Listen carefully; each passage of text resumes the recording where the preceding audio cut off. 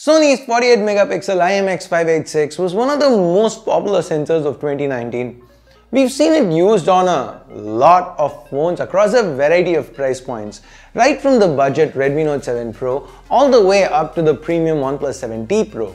Now Sony's follow-up to this insanely popular 586 is the new 64 megapixel IMX686. The first phone to sport this sensor is the Redmi K30 that we have right here at C4E Tech. So in today's video, let's see how the 64 megapixel sensor from Sony compares to its super popular predecessor. And hey, there's a blind test at the end too. Hey guys, Ash here from C4E Tech and if you do end up liking what you see in this video, go ahead turn on notifications by hitting that bell icon and by the way, I'm also giving away a Redmi K30. For more information on the giveaway, check out the link in the description below. With that said, let's get this video started.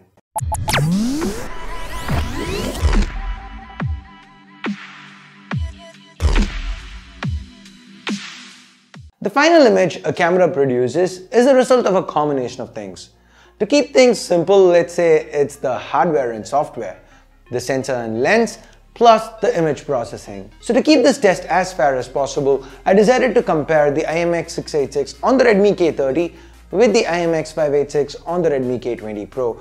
Now, I could have gone Redmi K20 but technically it's a IMX582 the difference between the 582 and the 586 is just that the 582 cannot do 4K 60 FPS, but then, hey, I'm pretty sure somebody's gonna say, it's the 582, so I wanted to go 586. So I chose the K20 Pro. We've already seen the K20 Pro versus K20. There's no difference between those two with regards to still images.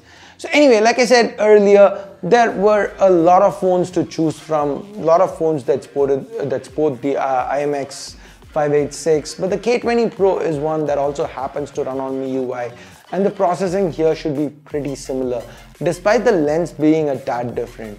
F1.8 compared to the K30's f1.89 anyway with all that said let's now get to the samples. So here's the first set of images. These were shot outdoors under good light. Note that here on auto mode the 586 is shooting 12 megapixels while the 686 is shooting 16 megapixels four pixels are being combined into one here. There's not much between these two. The colors are almost similar. The K30 seems to be producing a little warmer tones, uh, but there is no major difference. Now, in this case, the K30 and the 686, they seem to have the better image. Not by much, but the flower here looks a little brighter and more attractive. What do you think? The details, they don't really change. But now see this picture, the warmth is again noticeable in the image shot by the K30. 100% crop and zooming in on the K20 Pro's image to match, there's not much difference in detail. The 586 had excellent dynamic range, but that's bettered here. In this picture, the cloud to the sky, that's the brightest point, right? There's equal detail with regards to the brightest point. Now the shadows to the right, there's a tad bit more detail with the 686. Sony seems to have improved the dynamic range a little bit on this sensor.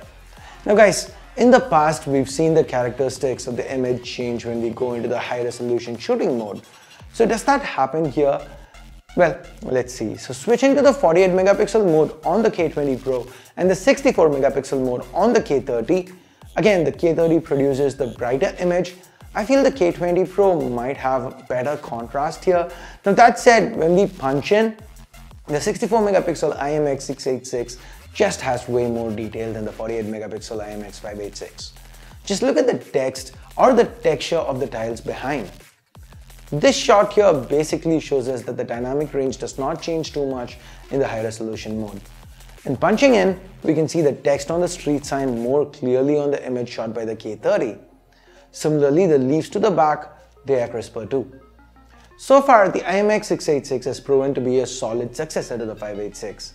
But let's see how it fares under low light next. Remember, all these shots were taken with MIUI's night mode on. Now both these perform quite similarly, but when you pixel peep, you can see that the K30 has a slight edge. There's better texture for the road of the image shot with the K30, while it's a little more smudged out on the image shot by the K20 Pro. Again, look at this gate here. When we punch in at first glance, it might seem like the K20 Pro has the brighter image, but hey, the K30's image is cleaner. Now guys, it is worth noting that the K30 has a disadvantage here. It has a bit of a handicap. The lens it uses comes with a f1.89 aperture, whereas the K20 Pro is sporting a f1.8 lens, meaning it's got a tiny bit of an edge. An unfair advantage if I might say so. So the IMX686 sensor itself should fare even better if it's on even footing with the 586 uh, if it's paired with a similar lens. Now here are a few more low light samples for you to take a look at.